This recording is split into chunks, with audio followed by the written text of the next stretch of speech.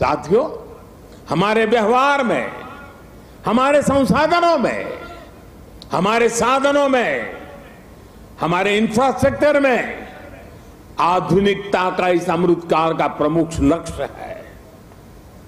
और साथियों, जब हम इंफ्रास्ट्रक्चर की बात करते हैं तो अधिकतर लोगों के मन में पहली तस्वीर सड़कों या फ्लाईओवर की हो जाती है। लेकिन आधुनिक होते भारत में इंफ्रास्ट्रक्चर का विस्तार उससे भी बहुत बड़ा है, उसके बहुत पहलू है। आज Bharat social infrastructure transport infrastructure digital infrastructure के साथ ही कल्चरल इंफ्रास्ट्रक्चर पर भी उतनी ही तेज़ी से काम कर रहा है। मैं आपको सोशल इंफ्रास्ट्रक्चर का उदाहरण देता आज देश में एम्स की संख्या पहले के मुकाबले तीन गुना हो चुकी है। मेडिकल कॉलेजों की संख्या में भी 50 प्रतिशत की वृद्धि हुई है। ये दिखाता है कि भारत आज अपने नागरिकों के स्वास्थ्य को बेहतर बनाने के लिए, उन्हें मेडिकल की आधुनिक सुविधाएँ पहुँचाने के लिए किस तरह काम कर रहा है। आज देश में नई आईआईटी ट्रिपल आईटी वैज्ञानिक संस्थाओं का आधुनिक नेटवर्क लगातार विस्तार किया जा रहा है, तैयार किया जा रहा है। बीते तीन वर्षों में साढ़े छह करोड़ से ज़्यादा ग्रामीण घरों को पाइप से पानी की सप्लाई सुनिश्चित की गई है। आज देश के हर ज़िले में 75 अमृत सरोवर बनाने का महाअभियान भी चल रहा है। भारत का ये सोशल इंफ्रास्ट्रक्चर सामाजिक न्याय को और समृद्ध कर रहा है। साथियों ट्रांसपोर्ट इंफ्रास्ट्रक्चर के विकास पर आज भारत जितना काम कर रहा है, उतना पहले कभी नहीं हुआ। आज एक तरफ़ देश भर में ग्रामीण सड़कों का निर्माण हो रहा है तो वही रिकॉर्ड संख्या में आधुनिक एक्सप्रेसवे बनाए जा रहे हैं।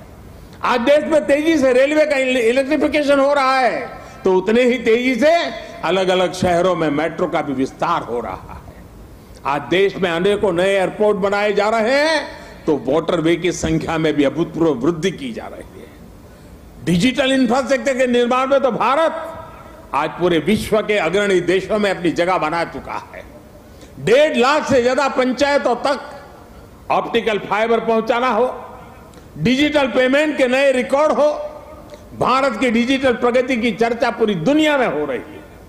भाई और बहनों इंफ्रास्ट्रक्चर के इन कार्यों के बीच भारत में कल्चरल इंफ्रास्ट्रक्चर पर जो काम किया गया है, उसकी उतनी चर्चा नहीं हो पाई है।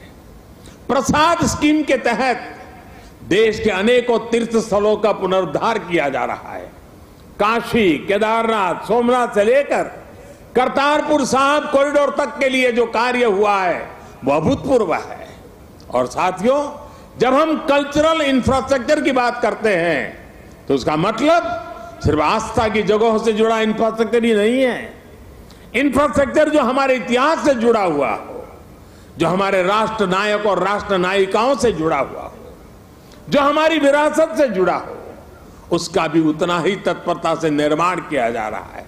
सरदार पटेल की स्टैच्यू ऑफ़ यूनिटी हो, या फिर आदिवासी स्वतंत्रता सेनानियों को समर्पित म्यूज़ियम, पीएम म्यूज़ियम हो, या फिर Baba Saheb Ambedkar memorial, national war memorial हो, या फिर नेशनल पुलिस पुलिस मेमोरियल।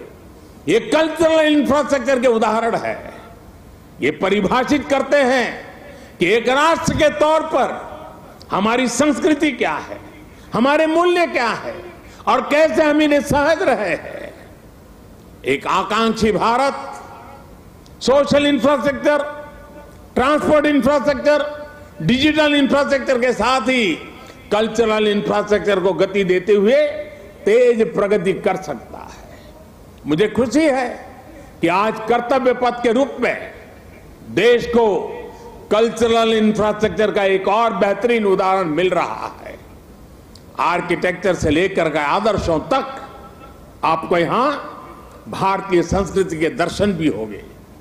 और बहुत कुछ सीखने को भी मिलेगा। मैं देश के हर नागरिक का आह्वान करता हूँ। आप सभी को आमंत्रण देता हूँ। आइए, इस नवनिर्मित कर्तव्य पथ को आकर देखिए। इस निर्माण में आपको भविष्य का भारत नज़र आएगा। यहाँ की ऊर्जा आपको हमारे विराट राष्ट्र के लिए एक नया विजन देगी, एक नया विश्वास देगी।